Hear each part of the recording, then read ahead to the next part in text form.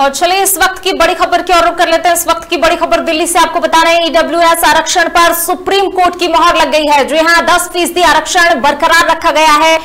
पाँच में से तीन जज पक्ष में है। सामान्य वर्ग के गरीबों को 10 प्रतिशत आरक्षण जारी रहेगा, जैसा कि जो है 27 सितंबर को फैसला सुरक्षित रखा गया था और आज जब इस पर फैसला सुनाया गया तो पाँच में से तीन जजों ने पक्ष में फैसला सुनाया है। ईडब्ल्यूएस आरक्षण पर सुप्रीम कोर्ट की अब मोहर लग गई है। दस फ़ीसदी आरक्षण को बरकरार रखा गया है।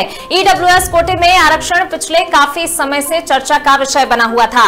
आपको बता दें कि सुप्रीम कोर्ट की संविधान पीठ ने आज आर्थिक रूप से कमज़ोर वर्ग यानी कि ईडब्ल्यूएस को 10 प्रतिशत आरक्षण दिए जाने को वैध बताया है।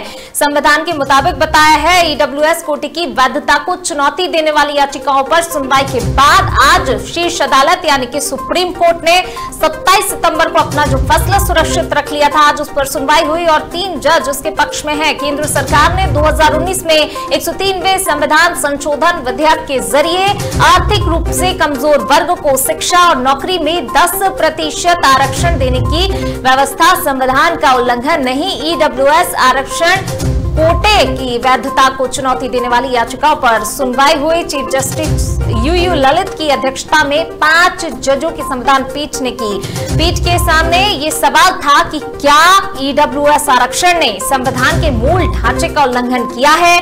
क्या मोदी सरकार ने सामाजिक और आर्थिक रूप से पिछड़े वर्गों को आरक्षण देकर जो अन्य लोगों के साथ आगे बढ़ने का मौका दिया है, वो गलत है?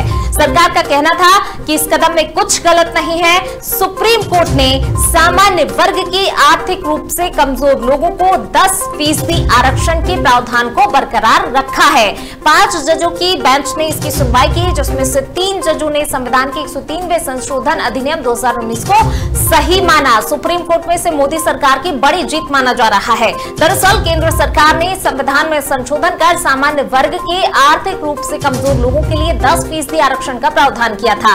आरक्षण का प्रावधान करने वाले एक सौ संविधान संशोधन को सुप्रीम कोर्ट में चुनौती दी गई थी। पाँच जजों की बेंच में से तीन जजों, जस्टिस दिनेश माहेश्वरी, बेला त्रिवेदी और जेवी पादेवाला ने ईडब्ल्यूएस आरक्षण के समर्थन में फैसला सुनाया है।